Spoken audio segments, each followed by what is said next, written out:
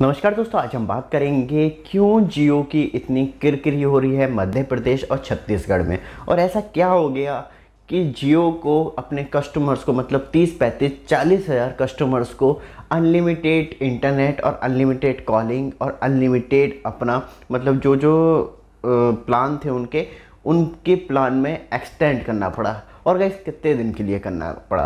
और क्यों इतना बड़ा डिसीज़न लिया गया? मतलब एक दिन भी एक्स्ट्रा देना गाइस मतलब बहुत पैसों का नुकसान हो जाना। तो गाइस आज इसी मुद्दे पे बात करेंगे और स्पेशली मध्य प्रदेश और छत्तीसगढ़ के कस्टमर्स को ही ऐसी नौबत क्यों आई कि उन्हें फ्री सारी सर्विस मतलब डेटा कॉलिंग एसएमएस देना पड़ा जियो को।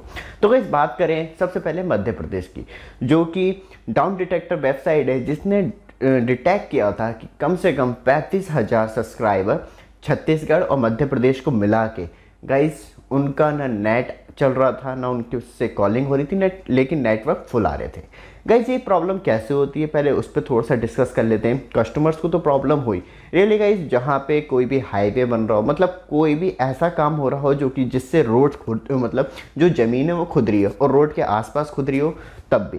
क्योंकि गाइज़ वहाँ पे होती है फाइबर डिलीवरी और रोड की, जहाँ रोड बन रही होती है, वहाँ तो मतलब हमेशा ही फाइबर टूटती है, क्योंकि पूरी रोड तोड़ी जाती है और ऊपर से तब, परेशानी तब भी इतनी नहीं होती कि नॉर्मल रोड डल रही हो।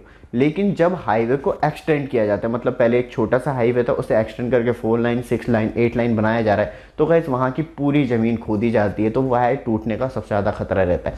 और गैस ये कभी कभी ऐसा भी होता है, क्योंकि ज़्यादातर सब्सिट्यूट के तौर पर मतलब दो फाइबर डालती है कोई भी कंपनी। लेकिन गाइस तब ज़मीन खुद रही होती है, तब हाईवे बन रहा होता है तो क्या होता है कि दोनों फाइबर तोड़ देती है। जैसे भी होती है पॉपलाइन लगी हुई होती है, पूरे फाइबर क्योंकि गाइस मैं खुद सिविल इंजीनियर मैंने खुद रोड पे काम किया तो मैं जानता हूँ, मैंने बहुत सारी फाइबर तोड़ी तो इसलिए।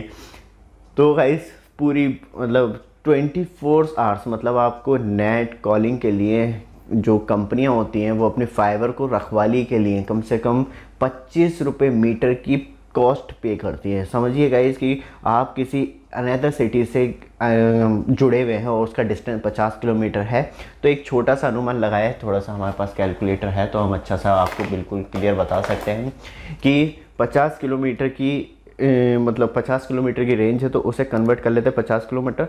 मतलब पचास हज़ार मीटर हो गया। पचास हज़ार मीटर इंटू पच्चीस रुपये पर मीटर की कॉस्ट देनी पड़ती है। लमसम बारह लाख पचास हज़ार रुपये पर मंथ और उसमें 25-30 लोग हमेशा कोई भी गड्ढा खुद रहा होगा तो मतलब उनका काम यही होता है, उनकी जॉब ही यही होती है कि इधर से उधर चक्कर लगाते रहना। लेकिन तब गाइस हाईवे का काम होता है तो परेशानी ये होती है किसी ने पॉपलाइन चलाई या पॉपलाइन चली और वायर चटक गई, टूट गई या कोई काम कर रहे थे मजदूर, उन्हें क्या मालूम? दोस्तों, अनपढ़ लोग होते हैं वो तो उन्होंने फाइबर काट दी, गड्ढा खोदते हुए फावड़ा मार दिया। तो कहीं उस कंडीशन में प्रॉब्लम ये होती है कि फाइबर की कनेक्टिविटी नहीं मिल पाती और जो नेटवर्क होते हैं वो बिल्कुल डाउन हो जाते हैं। तो उस कंडीशन में दोस्तों, जो वहाँ के मध्य प्रदेश के छत्तीसगढ़ के कस्टमर्स थे, उनका जियो के नेटवर्क बिल्कुल डाउन हो गए। क्या इसमें कोडरमा में काम करता था? झारखंड के पास मतलब बिहार एंड झारखंड का बॉर्डर ही पड़ता है कोडरमा। तो वहाँ पे तो बीएसएनएल के कनेक्शन कम से कम पंद्रह दिन शट डाउन रहा था वहाँ पे। तो एक रुपया तो छोड़िए, मैसेज तक का नहीं कहा कि हम अपनी सर्विस को ठीक करने में इतना टाइम लगा देंगे। कोई मतलब ही नहीं। पंद्रह दिन तक शट डाउन रहा था, क्योंकि मैं दूसरे मतलब पहली सिम जियो यूज़ करता हूँ second SIM B S use करता हूँ। पंद्रह दिन तक शट डाउन था मेरी।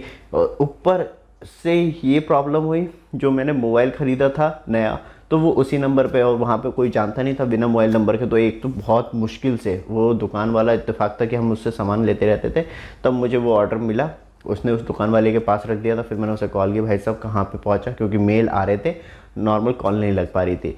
फिर, क्योंकि मैं अपना मेन नंबर ही डालता हूँ प्रोडक्ट पे तो कि अब चेंज कर दिया मैंने, अपना जियो वाले ही डालता हूँ मैक्सिमम तो वहाँ पे प्रोडक्ट मिला। फिर अब ना यू चल रही है मतलब मैं ऑनलाइन पेमेंट ही, क्योंकि सारा यू पी आई बेस जो है मेरा मेन नंबर पे था तो परेशानी ये हो गई।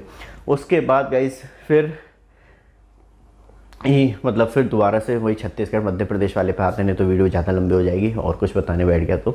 तो गई वहाँ पे यही प्रॉब्लम रही होगी कि हाईवे हाईवे का काम चल रहा होगा तो फाइबर जो है बीच में से टूट गई होगी, उसे डिटैक करने में भी टाइम लग जाता है। ऐसी कंडीशन में क्योंकि गाइस किसी मजदूर ने तोड़ दी या पॉपलाइन से टूट गए जो मतलब सर्वे टीम थी, वो अनदर किसी अनदर प्लेस पर लगी हुई थी, क्योंकि तब हाईवे या किसी का भी काम चलता है दोस्तों चार चार पाँच पाँच जगहों पे इंडिविजुअल चलता है जो डिस्टेंस होता है वो पंद्रह बीस किलोमीटर का भी हो सकता है। कहीं मेन मेजर फॉल्ट हो गया होगा तो फाइबर को उसे जोड़ने में लग गया होंगे तो पीछे किसी ने तोड़ दिया तो नहीं हो पाती है, पूरी जज नहीं कर पाते।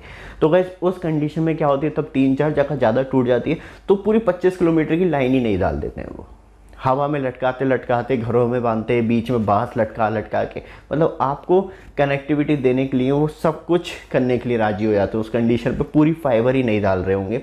तभी गाइस क्योंकि पहले तो सोचा होगा डिटेक्ट करा होगा कि हाँ जल्दी जल्दी प्रॉब्लम ठीक हो जाए, तब नहीं हो रही होगी। तभी गाइस उन्होंने डिसीज़न लिया होगा कि अब क्योंकि दो दिन की बात है तो hundred to ten percent fibre ही नहीं डाली है उन्होंने। क्योंकि आधे एक घंटे या तीन चार घंटे की बात होती है तो नॉर्मली और ये इशू इतना बड़ा कैसे हो गया? तो गाइस ट्विटर पे हैश टैग जियो डाउन चल रहा था हैश टैग जियो कैर चल रहा था मतलब यही हैश टैग चल रहे थे। ट्विटर पे ट्रेंडिंग पे पहुँच गए थे। कम से कम कहते हैं पंद्रह बीस हज़ार लोगों ने directly hashtag down hashtag Jio care ये चल रहा था।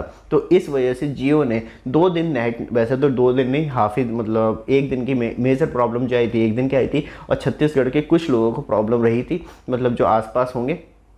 तो गाइस उन लोगों के लिए स्पेशली मतलब पैंतीस चालीस हज़ार लोगों के लिए दो दिन का एक्स्ट्रा वैलिडिटी प्रोवाइड करवाइए। जो प्लान थे, उसी से रिलेटेड उनके एक्सटेंड हो जाएँगे और नॉर्मली वो अनलिमिटेड सारी सर्विसेज़ यूज़ कर पाएँगे। जैसे कि आपका अट्ठाईस दिन का प्लान था, दो दिन आपके नेट नहीं चला किसी वजह से तो वो दो दिन मतलब ऐड हो चुके हैं ऑलरेडी जैसे आपका प्लान ख़त्म होगा तो वो दो दिन जुड़ जाएँगे ऑटोमेटिकली आपको कुछ नहीं करना होगा। और वो दो दिन के बाद नॉर्मली आपका तीसरा प्लान मतलब जो आप दोबारा रिचार्ज करेंगे तो वो ऑटोमेटिकली ऐड हो जाएगा। मतलब आपको दो दिन के लिए ही सारी सर्विस बाया जियो की तरफ़ से फ्री ऑफ़ कॉस्ट मिलेंगी। तो गाइज़ घबराने की ज़रूरत नहीं वैसे इतना बड़ा स्टेप कोई लेता नहीं एक्चुअली बताऊँ तो क्योंकि जियो को ये भी डर रहा होगा। और ये मत सोचिए कि जियो के साथ ही प्रॉब्लम हुई हो, सभी के साथ कहीं ना कहीं छोटी मोटी प्रॉब्लम हुई होगी।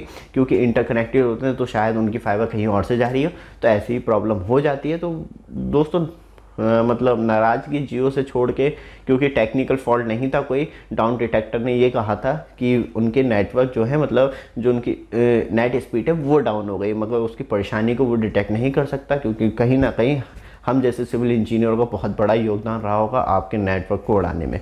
तो दोस्तों, ये वीडियो आपको अच्छी लगे चैनल को सब्सक्राइब वीडियो को लाइक ज़रूर कीजिएगा। धन्यवाद।